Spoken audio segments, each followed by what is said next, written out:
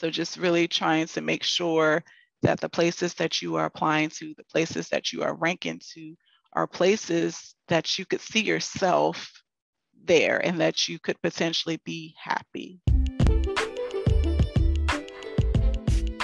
You ever have so many questions and no one to ask, so they're just wasting away on Google searches you'll forget about in an hour or so?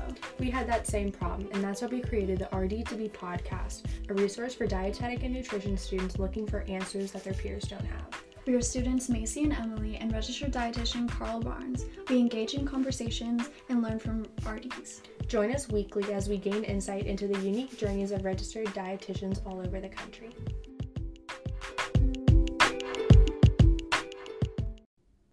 Welcome back to another week of the RD2BE podcast. I'm your registered dietitian host, Carl Barnes. This is our weekly podcast where we cover a different dietitian each week um, to showcase the diversity of opportunity in the profession. Right now, we're doing a showcase of dietetic internships um, to highlight those programs for those who are prospective students, um, whether you're about to apply or applying um, a couple years from now. So we're honored to be sitting with Crystal Wynn, PhD from Virginia State University today. Um, really curious to hear about your program and a little bit about you. Thanks for being here. Hello, everyone. My name is Crystal Wynn, and I am a professor at Virginia State University, where I serve as the department chair of the Department of Family and Consumer Sciences and the dietetic internship director. Um, I've been at VSU for about 10 years. Um, and I, I love educating our students. Awesome. Thank you so much for taking time out to talk to us today. So, how do you ensure that all your accreditation standards, policies, and procedures are met for the interns that are completing your internship at VSU? So, as the internship director, um, I'm constantly reviewing the accreditation standards, the policies and procedures, that's set out by ACEND. And I'm also um, responsible for attending any required meetings or webinars um, that would notify me of a change. So with that, um, this is constantly on my radar. So I'm constantly reviewing documents um, that involve the interns, that involve the other dietetic internship faculty members, preceptors and just constantly making them aware of their role in the accreditation process and making sure that we are following the standards um, as it relates to our program evaluation, our curriculum, and our student learning outcomes. Great. So, with the shift of the pandemic, how did that look for your internship? Um, so, I guess around March 2020 is kind of where everything shifted. Um, so at that time, our university um, put a cease on all student activities. And so at that time, we had to um, pull our interns out of their rotations and make them all virtual. Um, so in the beginning, it, it was a hurdle um, because we didn't have anything set up, but there were a lot of resources out there um, that educators kind of shared through our accrediting agency and our educator um, listserv through um, NDEP. So that was, you know, very helpful. Our preceptors were, you know, very understanding. Um, some of them still kind of stayed involved, kind of as a like advisory role um, but a lot of them kind of stepped out. So it was the DI coordinator and myself that kind of were overseeing and precepting. So I would say the first spring that it occurred, um, it was a lot. But then last year, um, it, it, got better because we'd already took the time to create uh, virtual rotations and a lot of our major like clinical um, facilities were beginning to allow students to come in. So our students that completed the internship 2021, they kind of had more of a hybrid model. So it was probably like half of their rotations were face-to-face while the other half were kind of in a, a virtual um, capacity. Um, and then currently, um, we haven't had any issues with getting students um, in facilities. So for the most part, they're probably about 90% um, with face-to-face rotations. Great. So I remember when we were initially, you know, talking back and forth, you mentioned that you were very passionate about diversity in dietetics. So as an internship director, what are some things that you do to try to incorporate diversity in your curriculum? Um, so currently, we um, have students to complete a, a, diversity, equity, inclusion webinar um, during the spring of the program, and then they're required to complete a cultural competence in the fall. Um, so that's kind of one way that we um, incorporate diversity into the curriculum. But in regards to our admission standards, um, we do offer pre-select to our um, undergraduate students at Virginia State, and we do um, try to show priority to those that are members of a diverse group that have been identified by the Academy. Um, so that's one way. And then we try to partner with our state affiliate um, to ensure our uh, interns as well as our undergraduate students have um, mentors um, and that they are um, just really, I guess, aware of the issues that face dietetics um, in, in the area of diversity. Great. So, what would you say that your dietetic internship has a concentration in? Um, so currently we have a concentration in research. And so this was established in 2012 when ACEND mandated that dietetic internships um, had to have a concentration. Um, and we, we picked uh, research because we are a land grant, 1890 land grant institution. Um, and so with that, we have a agriculture research station as well as Virginia Cooperative Extension specialists that are federal employees on our campus. So we really wanted to kind of tap into that tripod uh, land grant mission of teaching, research, and extension. And so our interns complete a uh, eight-week research rotation with two of our food science uh, researchers. So one does research in food chemistry and food packaging, and the other uh, does research in food microbiology. Um, so interns have experience with um, hands-on bench work. Um, they have the opportunity to present a poster at a national conference, and many of them have had publications as a result of their research rotation experience at VSU. Great. So, do students that come into your um, program say if they are more food microbiology or food chemistry? Do they figure that out during their program?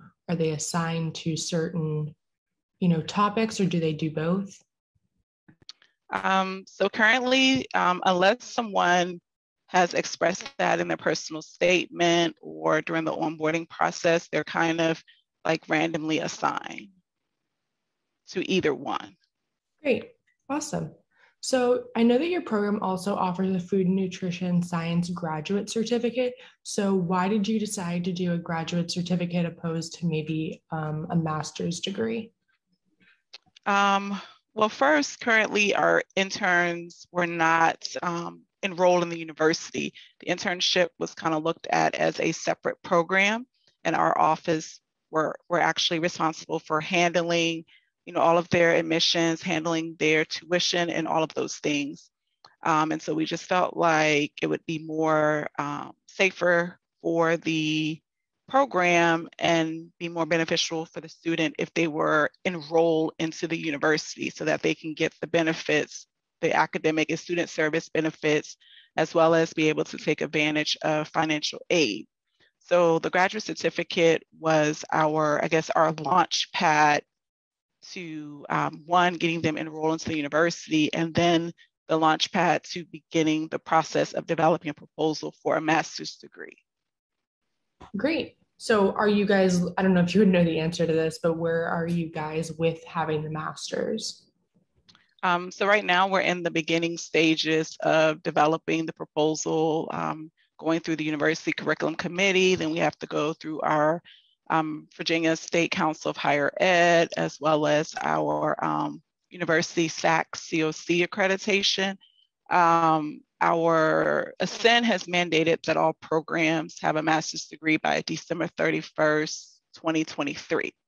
And so we are currently are on track of trying to meet that deadline. So we're hoping that we can launch it fall 2023. Great. So, having a concentration for research in food chemistry and food microbiology, does that go hand in hand with the graduate certificate at all, or is that separate from the certificate? Um, so, the supervised practice hours kind of um, work concurrently with the certificate. So, even though our concentration is research, um, students still um, are exposed to clinical, um, food service, WIC, and public health. Um, it's just that all of our rotations have a research component to it in addition to the research rotation. Um, so interns have class class on Friday, and that's kind of where they would complete the coursework for the graduate hours. So they're kind of completing the, the coursework and the hours for their rotations as well as the graduate um, coursework as well. But they're getting graduate credit and experiences um, for their rotation. So there's like two classes that are like um, clinical food and community practicum. So um, it's not, we didn't really create a, a lot of separate classes. Um, so we have an advanced practice in dietetics course, and they kind of complete those requirements during their orientation to the DI. And then the two practicum classes, they're getting credit for the DI, then they have additional assignments. And then they have a food research methodology course, which is basically everything that they're completing during their research rotation. So the graduate certificate is 16 uh, graduate credit hours. Okay, so, and then they, like you said, they completed concurrently with the DI. Yes. Great. So how long is your program? Um, so before COVID, our program was 10 months, um, mm-hmm. August to June. But during COVID, ACEND um, reduced the supervised practice hours and the amount of time mm-hmm. that interns um, needed. So now our program is from August to April, so eight months. Great. So, how many interns typically apply to your program each go around? Um, so it has varied as we are getting closer to the 2024 um, deadline. So um, in the beginning, I would say probably about maybe six years ago, we were getting probably about uh, 20 to 30 applicants. And then as we're getting closer and approaching the 2024 deadline, it's probably kind of dwindled to about 10. Um, so we definitely know that students are applying more to those coordinated programs or the future education model programs. And so we're really trying to, um, you know, expedite our, our masters, you know, as soon as possible so that we'll be able to service students and prepare them for the next step. How many students do you typically take to be a part of your program? So we're approved for eight spots. And so generally in the past three years, we've either um, either had pre-select or match or had to go into second round match, um, six to eight. Currently, we were only able to fill four spots. Um, and since we are in transition with preparing for our reaccreditation, um, we just kind of, you know, kept the four um, just because we have so much going on with the reaccreditation and then also trying to do the master's proposal. How do you think your internship compares to other programs in Virginia? Well, I think definitely with being um, a land grant and how we incorporate the land grant mission into our program. So, in addition to interns having the research experience, they also have a farm to table experience. So, they work with our horticulture and marketing extension specialists on our farm we have a 418 acre farm that's about a mile and a half down from the campus. And so interns get to actually um, have exposure to um, actually the, the harvesting um, just from the ground all the way up. And they actually get to um, participate in farmers markets with extension specialists. Um, they also have various marketing projects. Um, they work with our culinary specialists and try to come up with um, creative recipes and dishes that they can market the crops that are grown on the Randolph farm to the consumer. Um, so they actually get to see their um, brochure or their presentation um, being used by Virginia Cooperative Extension Specialists. So I would say because we really integrate our land grant mission within the program, um, that's what set us apart from the other uh, dietetic internship programs in the state. Awesome. Yeah, I feel because I know the. I go to University of Maryland, and they're also a land grant institute, and they really have a strong emphasis on that farm to table approach as well. So that's really interesting to hear that an internship has that as well. So when you're looking through applications, what stands out to you for a potential intern?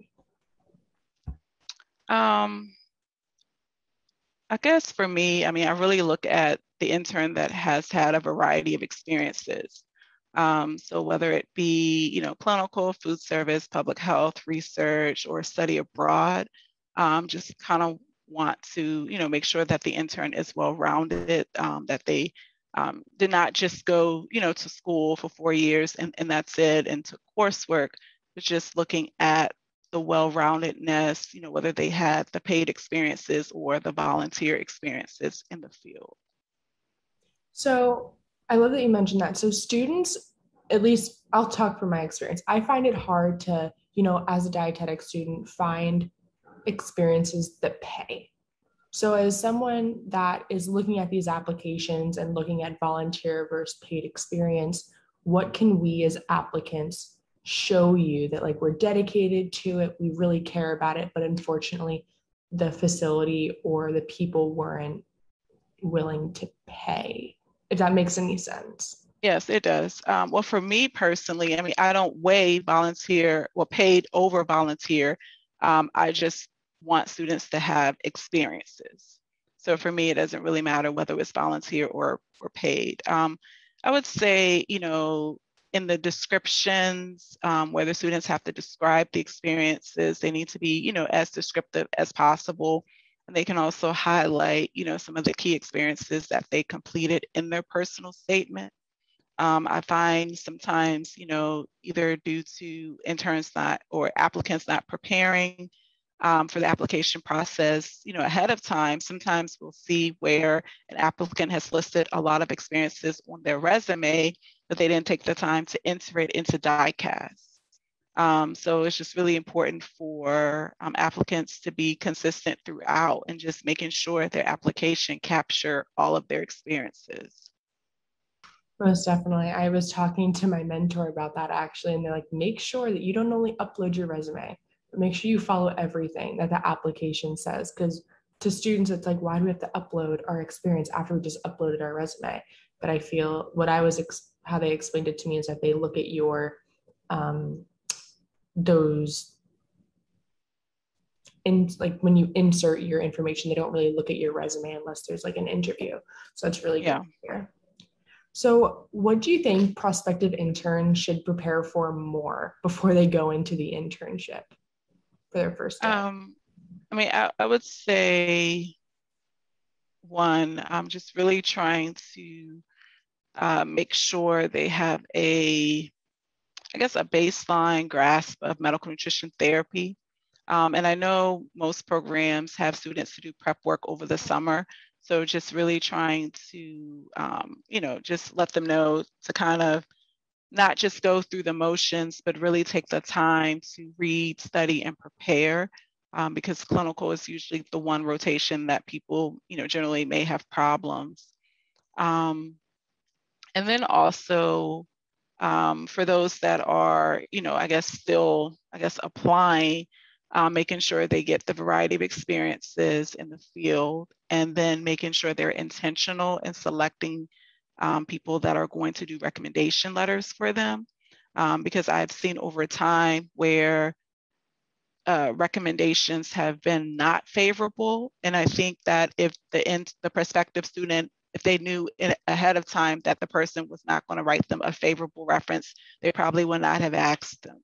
So, you know, just trying to make sure that those that you ask to, to write a recommendation letter that you're confident that they're going to speak on your behalf and that they are well aware of the program that you are applying to.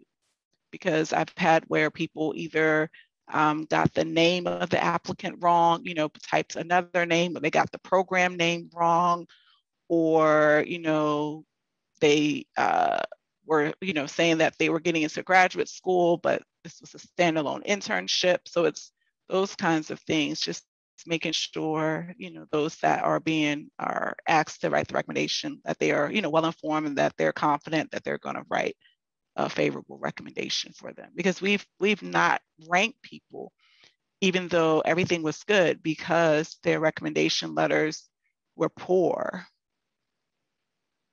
Yeah most definitely. That's yeah. another thing that i've heard even from my dpd director. Make sure you choose people that will write you a good letter of recommendation don't choose someone that you have a poor relationship with that'll say, yeah, this intern will not do well in your program because of A, B, C, and D. Yeah. You have someone that can speak to all of your qualities. So, do you guys have any upcoming open houses that students can attend?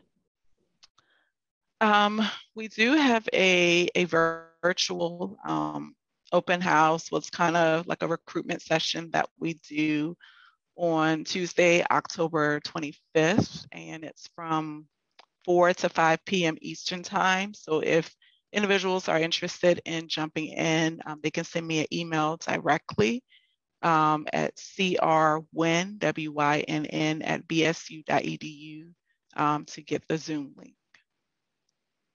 Awesome. Thank you so much. And I guess what's one final piece of advice that you have for students that are preparing for the upcoming DICAS application? Um, I think they also, you know, need to have a plan B. Um, it's it's really important to, you know, not put all of your, as they say, eggs in one basket. Um, you need to, you know, if if you do not get matched, you know, are you prepared to enter the second round match?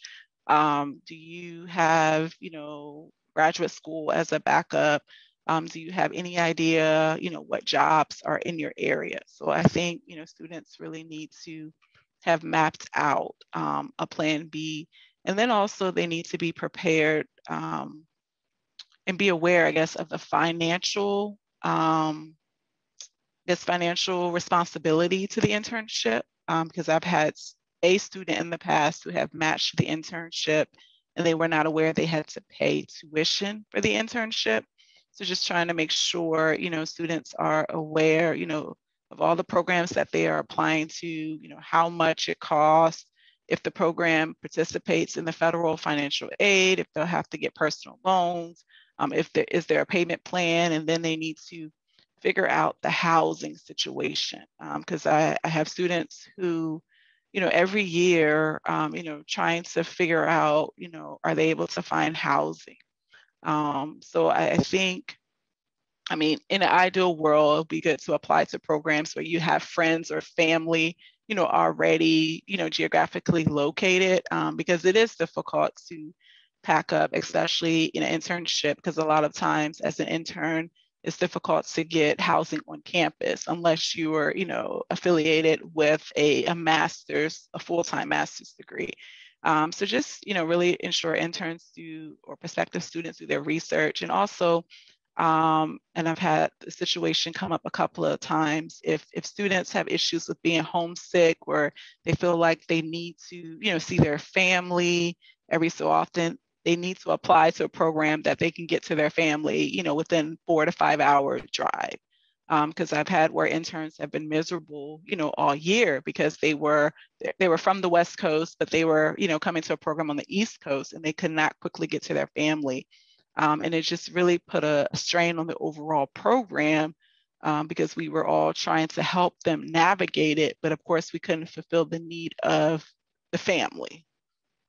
Um, so just really trying to make sure that the places that you are applying to, the places that you are ranking to, are places that you could see yourself there and that you could potentially be happy. Great. I think that's a great piece of advice. Well, I appreciate you taking time out to talk to us today. It's been a great opportunity to learn about your program, especially another land grant university. Oh, yes, it's been my pleasure. Thank you for the invite. No problem.